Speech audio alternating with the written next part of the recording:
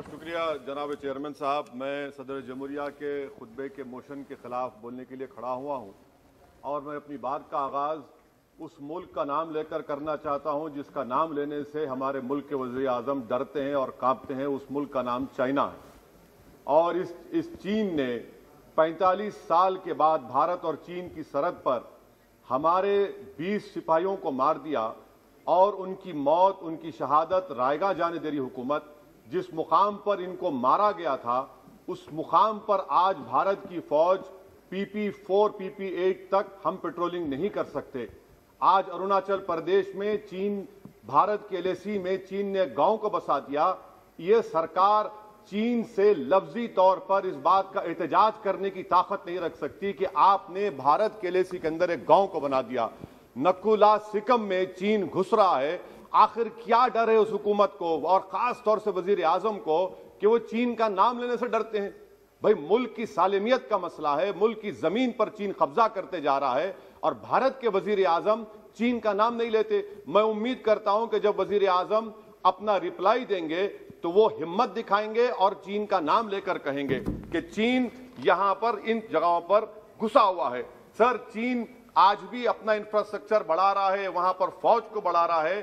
میں سرکار سے جاننا چاہتا ہوں کہ جب برف پگھل جائے گی، دوبارہ چین حملہ کرے گا بھارت کی فوج پر، تو آپ اس کے لیے کیا تیاری کر رہے ہیں؟ اور سر، میں یہ تقریر اس لیے بھی کر رہا ہوں کیونکہ میں ایک آندولن جیوی ہوں۔ میں ایک آندولن جی ہوں، مجھے اس کا فخر ہے۔ اس لیے میں کھل کے بول رہا ہوں، الفاظ چاپ کر، کسی سے ڈر کر بولنا میری فطرت میں نہیں ہے۔ افسوس تو اس بات کا ہوتا ہے سر کہ جس جگہ پر جس جگہ پر ہم کو انفراسٹرکچر بنانا تھا، ہم نے ٹکری پر بنا دیا۔ جس جگہ پر ہم کو وہ انفراسٹرکچر بنانا تھا، ہم نے سنگور میں بنا دیا۔ جو انفراسٹرکچر کی ضرورت تھی، ہم نے غازی پور پر بنا دیا۔ اروناچل پردیش میں نہیں بنایا۔ آخر ہو کیا رہا ہے؟ کیا کسان سے جو برتاؤ کیا جا رہا ہے، وہ ایسا لگ رہا ہے کہ وہ چین کی فوج بنی ہوئی ہے۔ اور جو چین کی فوج سے برتاؤ کیا جانا تھا، آپ کسانوں سے کر رہے ہیں۔ تو میں اس حکومت سے جاننا چاہتا ہوں کہ انفراسٹرکچر اور یہ کسانوں سے کیوں ظلم کیا جا رہا ہے؟ سر، یہاں پر یہ تینوں قانون کو لینا پڑے گا، واپس آپ کو، آپ کی انا کو تھوڑا مٹانا پڑے گا اور تینوں قانون کو واپس لینا پڑے گا۔ سر، یہاں پر میرے کو ساہر لدھیانوی کا ایک شیر یاد آ رہا ہے۔ میں ساہر لدیانی کے ساتھ معذرت کے ساتھ اس شیر میں ترمیم کر کے کہنا چاہوں گا کہ جو موجودہ حالات پر کہ ساہر لدیانی کا شیر کو تھوڑا تبدیل کر کے کہ چین پر کرم، کسانوں پر ستم رہنے دے تھوڑا سا بھرم، اے جانے وفا، یہ ظلم نہ کر۔ یہ ساہر لدیانی نے کہا تھا۔ ہاں آپ سے پوچھ کے کریں گے کیا؟ آپ تو ٹوٹے شاعر ہیں، نہ شاعری آتی، آپ کو نہ ذوق ہے، نہ کچھ ہے، بولے جاتے ہیں، کیا کیا بولتے ہیں، آپ کو ہی معلوم۔ بہرحال سر، یہ جو کسانوں کا قانون ہے، اس میں کیا کالا ہے؟ کالا اس میں یہ ہے کہ اس ہاؤس کو ایگریکلچر سٹیٹ سبجیکٹ ہے، اور وہ کہاں لکھا ہے سنویدان میں؟ Entry fourteen, entry twenty eight, schedule seven میں۔ اور یہ فیڈرلزم کے خلاف ہے۔ کیشانندہ بھارتی خاص طور پر کہتا ہے کہ فیڈرلزم بیسی سٹرکچر ہے، تو یہ سب سے بڑا کالا ہے۔ اور سر، یہ پورا کسانوں کے ایڈیٹیشن سے کیا بات معلوم ہوئی؟ کہ سرکار کو اس لوک سبھا کی عظمت، اس کی خوبصورتی کی کوئی ان کے پاس حیثیت نہیں ہے۔ سرکار اس ایوان سے ڈرتی نہیں ہے۔ سرکار کس سے ڈرتی ہے؟ جب لوگ روڈ پر نکل کر آتے تو موڈی جی کی نیند حرام ہو جاتی۔ تو وہی آپ پیغام دے رہے ہیں کہ لوگ روڈ پر نکلے تو سرکار کہتی ہے کہ ہم ڈیڑھ سال تک قانون کو ملتوی کر دیں گے۔ ارے، آپ کیسا بولتے؟ کیا اس ایوان کی توہین نہیں ہے کہ آپ یہاں پر قانون اپنی طاقت کی بنیاد پر بناتے ہیں اور اس لوگ لوک سبھا کی عظمت کو نستنابود کر دیتے ہیں؟ تو یہ بات آپ نے پیغام دی کہ جب لوگ روڈ پر نکل کر آتے آپ ڈرتے ہیں، آپ بناؤ سی ڈبل اے کے رولز، انشاءاللہ ہم دوبارہ روڈ پہ نکلیں گے، پورے بھارت میں اس کے خلاف احتجاج ہوگا۔ سر، تیسری بات، سب کا ساتھ، سب کا وکاس، سب کا وشواس، یہ بھی جھوٹ ہے۔ کیوں جھوٹ ہے؟ بابری مسجد کے ڈیمولیشن کا کیس آتا ہے ججمنٹ آتا ہے، اور کیس میں کہا جاتا ہے کہ کسی نے نہیں توڑا۔ اگر سرکار اس ججمنٹ کے خلاف اپیل کیوں نہیں کرتی؟ اپیل کیوں نہیں کرتی؟ ایک کرمنل ایکٹ سپریم کورٹ نے کہا ڈیمولیشن آف بابری مسجد کو آپ حکومت میں ہیں۔ آپ اپیل اس لیے نہیں کر رہے کیونکہ آپ اپنے لوگوں کو پیغام دینا چاہتے ہیں۔ کیا پیغام دینا چاہتے ہیں؟ کہ بیٹا، کاشی متھورا میں بھی توڑ دو، ہم تمہارے ساتھ ہیں۔ اپیل نہیں کرنا چاہتے بابری مسجد ڈیمولیشن کیس کو۔ کیا آپ انصاف پسند نہیں ہے کیا آپ مظلوم کے ساتھ نہیں کھڑے رہنا چاہتے؟ کیا آپ ظالموں کو جیل میں نہیں بھجانا چاہتے جنہوں نے چھ دسمبر کو بابری مسجد کو شہید کیا؟ آپ کی خاموشی اس بات کا اقرار ہے کہ آپ تشدد پسند ہیں۔ آپ جبر کے نام پر آپ کے پاس قانون کی بالادستی کا کوئی رول نہیں ہے۔ سر چوتھا پوائنٹ، آندولن جیوی، پیراسائٹ، سر جمہوریت کی بقا کے لیے، سمویدھان کی بقا کے لیے آندولن کرنا ضروری ہے۔ اور وزیر اعظم یا کوئی برسر اقتدار جماعت کے لوگ اگر آندولن جیوی پیراسائٹ کا لفظ استعمال کریں گے تو میں یاد دلانا چاہتا ہوں سر آپ کے ذریعے سے اس حکومت کو۔ کہ ہٹلر نے جرمنی میں یہودیوں کے خلاف ان کو کاکروجز کا ٹرمائٹس کا اس کے بعد بیس اس کے بعد بیس ملین آپ آپ دیکھتے ہیں کہ دو ملین سے زیادہ یہودیوں کو گیس کے چیمبر میں ڈالا گیا۔ اس طرح کے الفاظ استعمال کرنے سے کیا آپ بھارت میں وہی جرمنی کی تاریخ کو دہرانا چاہتے ہیں؟ اور سر آپ سن لیجیے۔ جی سر۔ تھوڑا بہت۔ کیا سر؟ بولتے سمے میں ہاں سر جی سر، آپ آگے نا سر، آپ پروٹیکشن ہے مجھے۔ اب تو کوئی فکر کی بات نہیں، اور کھل کے بول سکتے سر۔ آپ آگے سر۔ سپیکر آگے سر، اب تو کیا ہے سر؟ آپ ہمارے لیے ہیں۔ سر، یہاں پر آندولن جی بھی آندولن نہیں کرنا۔ ارے، کسی شاعر نے اچھا کہا تھا کہ جس میں نہ ہو انقلاب، موت ہے وہ زندگی، روح وم کی حیات، کش میں کش ہے انقلاب۔ سر، اب فورن پالیسی پہ آ جائیے۔ کسی اینا مینا ڈیکا نے ٹویٹ کیا، آپ نے پریشان ہو گئے۔ اینا مینا ڈیکا نے ٹویٹ کیا، آپ کھڑے ہو گئے؟ ارے، کون سی فورن پالیسی ہے آپ کی؟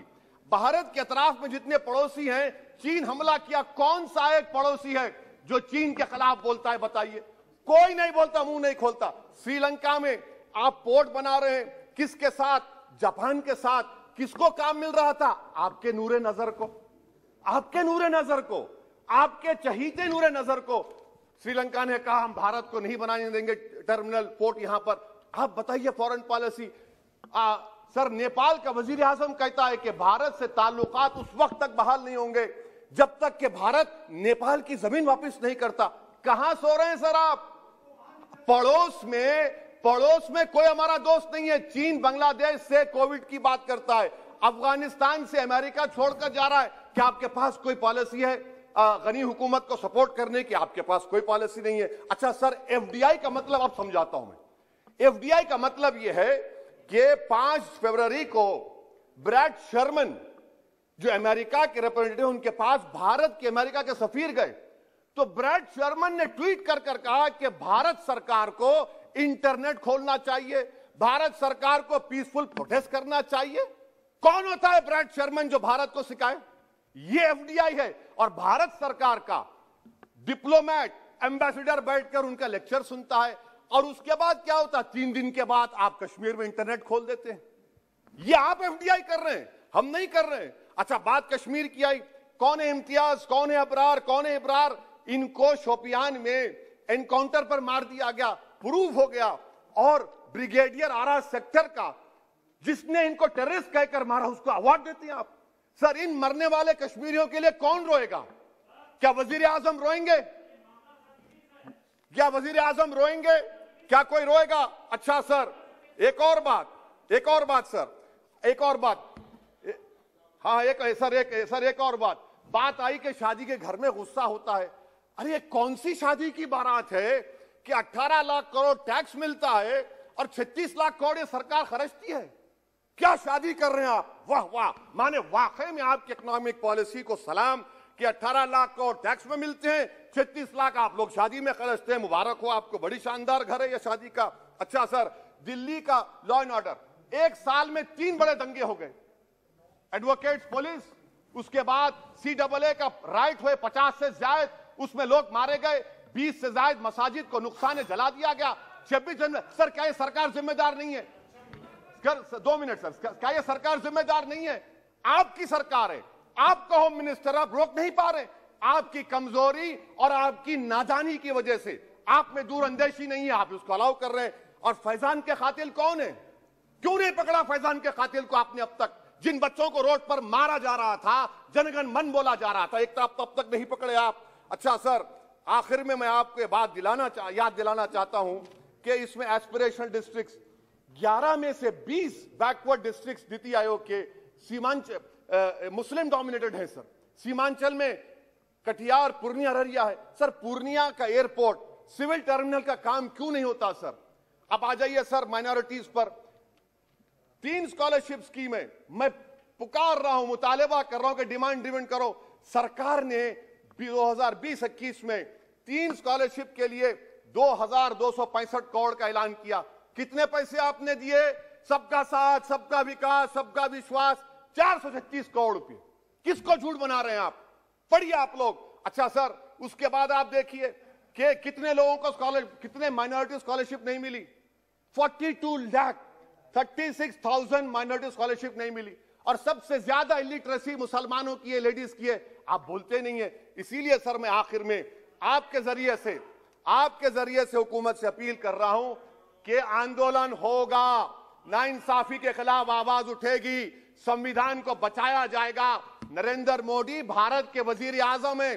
دلی سلطنت کے بادشاہ یا جہاں پناہ نہیں ہے زلے الہی کا دور ختم ہو چکا ہے۔ جہاں پناہ کا دور ختم ہو چکا ہے موڈی کی آنکھوں میں آنکھیں ڈال کر ان کی غلطیوں کو بولا جائے گا۔ اس لیے شاعر نے کہا تھا کہ جو چپ رہے گی زبان خنجر، لہو پکارے گا آستی کا۔ بہت بہت شکریہ سب